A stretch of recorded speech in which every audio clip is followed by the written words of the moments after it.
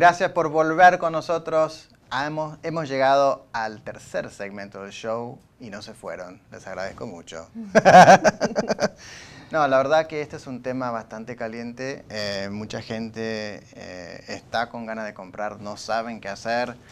Y bueno, eh, a veces es, no, uno no tiene siempre acceso a hablarle a un experto, ¿no? Como tenemos acá a José y Daniela para que nos puedan responder a una de las preguntas más importantes que puede ser una de las decisiones más grandes de nuestras vidas, ¿no? una, inversión a lo que va a ser, puede ser nuestro, nuestra jubilación. Eh, la verdad que comprar una casa no es solamente no tener que pagar más el alquiler, es eh, invertir en algo que puede llegar a, como está en el mercado, duplicarse eh, en los años que vienen. ¿no? No duplicarse, por ahí no duplicarse, pero en algunos mercados sí, han, duplicado, sí. Eh, y, bueno, y, el que estuvo alquilando, lamentablemente no pudo disfrutar de eso, ¿no? Pero, y, la verdad que un poco de miedo me diste cuando dijiste que están subiendo, es cierto, porque hace poquito estamos hablando con, con eh, nuestro amigo acá que fue a buscar un, un departamento, 1800 un día, volvió, 2200 en pocos días después. Increíble. ¿Qué causa algo así? ¿Por qué haces? Eh, la oferta y la demanda. Es la oferta y la demanda. Por supuesto, nos, hemos hablado en todo el programa acerca de compradores, pero también los vendedores tienen que aprovechar la experiencia de, de, los agentes para poderle sacar el máximo a las propiedades que ellos también tengan. Quería aclarar eso de antemano. El vendedor como el comprador. Tanto el vendedor como el comprador, porque si el vendedor no se prepara para poner la casa a la venta y poderle sacarle el máximo a la propiedad con la experiencia de la gente, estaría también perdiendo dinero en este mercado. Pero volviendo a, tu pregunta, es, la oferta y la demanda. Eh, Jacksonville, como se ha posicionado eh, en, la Florida, como una de las ciudades que, por supuesto, eh, las propiedades son más económicas que en Orlando, Miami y Tampa, mucha gente se está mudando. Y si tú eres dueño de casa, tienes que sacarle, eh, y, las quieres alquilar, le vas a sacar el, mayor provecho. ¿Tú, estás de acuerdo con eso? Sí, sí.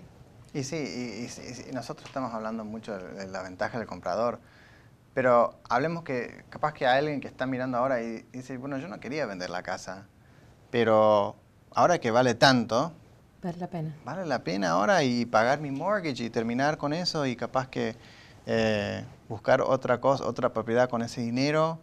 Eh, es buena pregunta eso, es buen momento para vender, ¿no? Oh, sí. Claro. Hay muchos cambios en la vida. Hay gente que muere, hay gente que se divorcia, hay gente que cambia de trabajo y eventualmente tiene que vender. Para ciertos vendedores, vendedores de casa o dueños de casa que quiere vender, en ese momento diría yo que si alguno tuvo alguno de esos cambios en su vida, alquilar es bueno porque al final puedes vender, sacar el dinero que tenías que sacar, alquilar o, comenzar con un nuevo, hacer un nuevo comienzo donde tú quisieras. Cierto, cierto. ¿Y qué pasa si alguien te llama y dice, José, yo no quiero vender mi casa, la quiero alquilar? ¿Me puedes ayudar con eso? ¿O Daniela?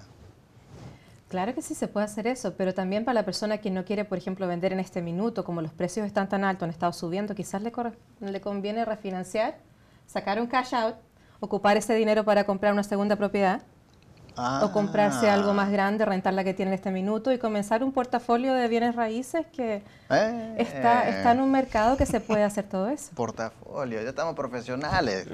Eh, eso te puede llegar a traer algo de dinero, ¿no? Pero claro que sí. Por eso, por eso como dices tú, y, Daniela está de acuerdo conmigo, hablar con, con, agentes de bienes raíces que tienen experiencia te puede ayudar a tomar la mejor decisión que te convenga para el, para el plan de futuro, para el plan de largo plazo. De acuerdo a tu situación. Sí, porque acá tenemos a dos personas que no solamente nos pueden eh, ayudar a vender o comprar, pero asesorar y son como... Eh, ¿cómo se llama? Inversionistas casi, financial eh, experts acá, expertos de financieros. Yo, yo, diría, yo me considero más familia.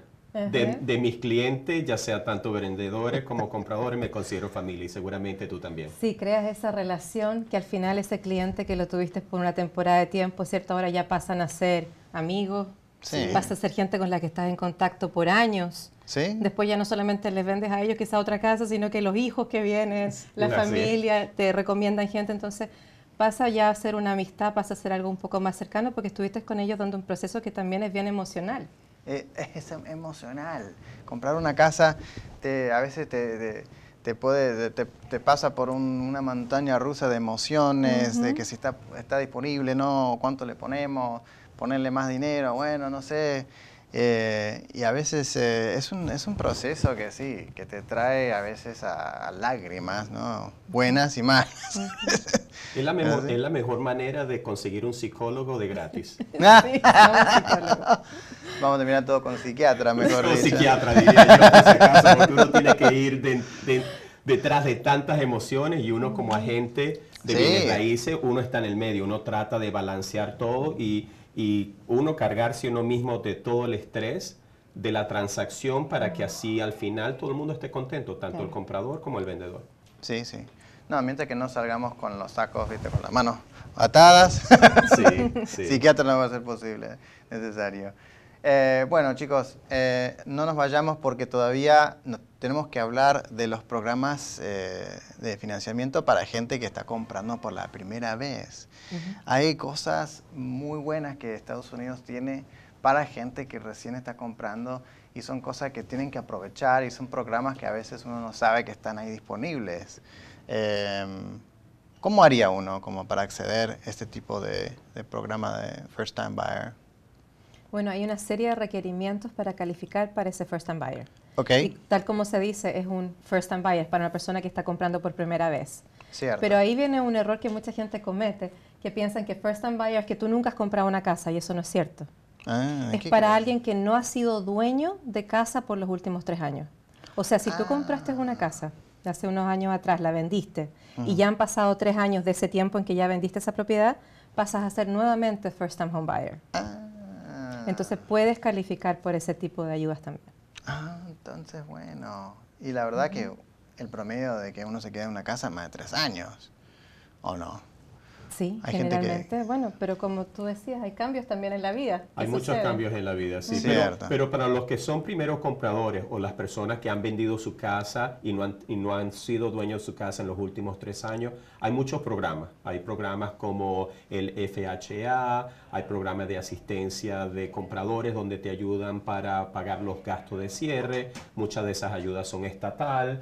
Eh, pero siempre, siempre hay ayuda disponible. Lo importante es calificar como persona y que la propiedad también tenga que calificar.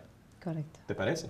Sí, porque vienen atados con el préstamo FHA. Y el, FHA es un programa que es un, es un básicamente es un seguro gubernamental que lleva ese préstamo. Entonces tiene ciertas restricciones, tiene ciertas calificaciones que tiene que tener esa propiedad para calificar para ese préstamo. Y bueno, le agradecemos mucho por su paciencia hoy con estos temas que son muy interesantes, pero también son difíciles. Muchas veces no están listos como para contemplar esto, pero no importa, piénsenlo y tienen a sus amigos acá, José Cuetos y Daniela Otone, que están acá en Jacksonville para ayudarlos siempre. Bueno, ya terminamos el show, les agradecemos mucho y siempre acuérdense que se tengan respeto entre ustedes. Muchas gracias y nos vemos en el siguiente show.